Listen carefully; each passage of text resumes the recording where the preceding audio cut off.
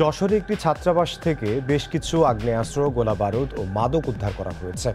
অবৈধ কর্মকাণ্ডে জড়িত থাকার অভিযোগে আটক করা হয়েছে তিনজনকে। পুলিশ জানায়, গতরাতে শহরতলির শেখহাটি এলাকার কাজী ছাত্রাবাসে অভিযান চালানো হয়। এ সময় একটি শর্ট গান একটি পিস্তল, পাঁচটি বোমা, পাঁচ রাউন্ড গুলিসহ দেশীয় অস্ত্র উদ্ধার করা হয়, জব্দ করা হয়। দুটি মোটরসাইকেল সহ বিভিন্ন ধরনের মাদক দ্রব্য আটক করা হয়। তৌফিক রোকন ও রাফিউল নামে পলিটেকনিক ইনস্টিটিউটের তিন ছাত্রকে দীর্ঘদিন ধরে তারা ছাত্রাবাসের আড়ালে অস্ত্র, মাদক ও চোরাচালান সহ অসামাজিক কর্মকাণ্ডে পরিচালনা করত বলে ধারণা করছে পুলিশ।